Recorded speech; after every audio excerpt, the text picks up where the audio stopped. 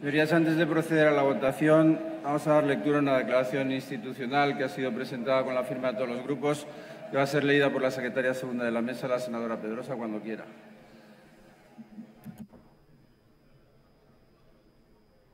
Gracias, presidente.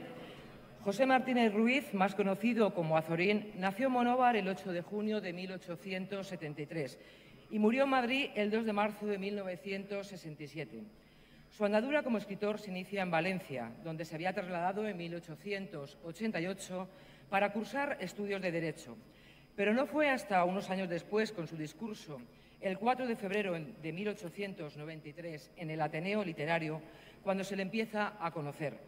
Azorín, en 1896, a la edad de 23 años, como tantos y tantos intelectuales de la generación del 98, de la que fue su escritor más representativo e incluso acuñó su nombre, se instaló en Madrid, pues como muchos autores de la época consideraba que para triunfar era necesario trasladarse a la capital de España.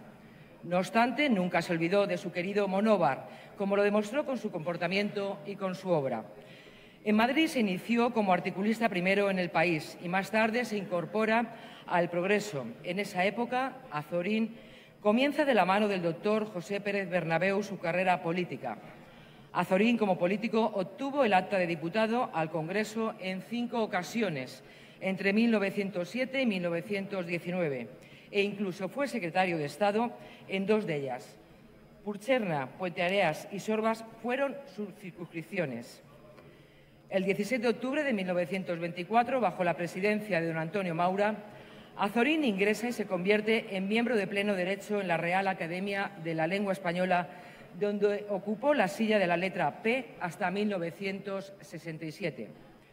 En 1936, Azorín inicia su largo y penoso exilio en París junto a Baroja, Ortega, Marañón, Ayala y Menéndez Pidal, entre otros.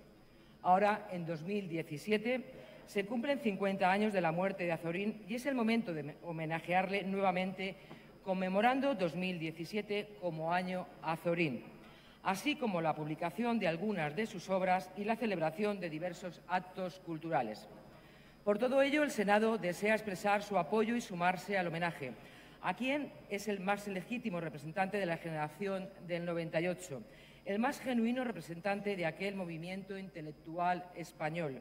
Azorín, como periodista, cronista parlamentario, escritor y literato, goza del reconocimiento no solo de los intelectuales de su tiempo, sino de cuantos eruditos, especialistas, académicos y estudiosos de su vasta obra. Aquella generación defendía de forma manifiesta un sistema de progreso ilustrado para España y una visión de enorme futuro de integración en Europa. Azorín encarnaba de manera especial estos valores. Su sentido de la tolerancia, su vocación universalista y su interés por lo sencillo, por lo más cotidiano, convierten a este literato, maestro de periodistas y escritores, en punto de referencia del humanismo que en su época se echaba de menos.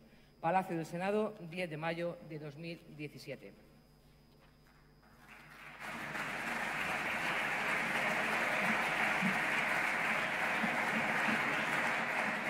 Muchas gracias, senadora Pedrosa. Bien, señorías, vamos a proceder a la votación. Cierren las puertas.